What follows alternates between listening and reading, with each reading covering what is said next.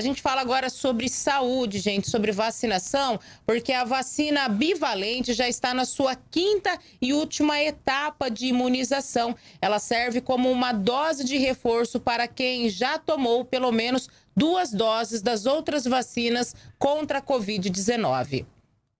A vacina bivalente contra a Covid-19 foi liberada para todos os grupos prioritários e já está sendo aplicada nas unidades de saúde da família de Três Lagoas. A medida segue a orientação da Secretaria de Estado da Saúde. A coordenadora da Central de Imunização, Humberta Zambuja, ressalta quem pode tomar a vacina bivalente no município. A vacina bivalente ela vem como um reforço. Então é necessário no mínimo um esquema de duas doses do esquema básico com a monovalente para a pessoa estar apta para receber a, a, vacina bivalente. Neste momento ela está disponível para as pessoas a partir de 60 anos de idade, além de gestantes e puérperas e trabalhadores da saúde. E temos então a novidade aqui dessa semana que abrimos para a fase 5.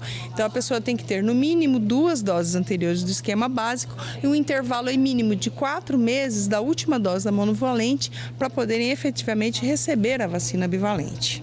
Foram incluídos na lista dessa fase pessoas com deficiência permanente a partir de 12 anos de idade, população privada de liberdade a partir de 18 anos de idade, adolescente cumprindo medidas socioeducativas menores de 18 anos e funcionários do sistema de privação de liberdade. A coordenadora ressalta qual a diferença da vacina bivalente para as outras que também estão disponíveis no município. Essa vacina ela tem a atualização da variante da Omicron.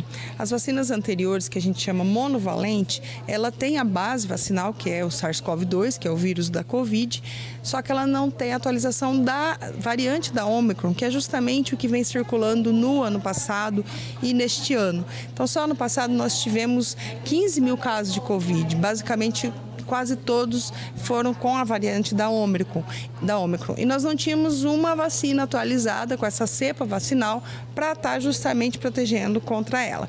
E a vacina vem agora com a variante B1 e B5, B4 e B5 também, para poder estar. Tá, é, está aí fazendo mais essa rede de prevenção. Então, quem está dentro do grupo é, prioritário e não tomou ainda a bivalente, lembre-se que já está disponível.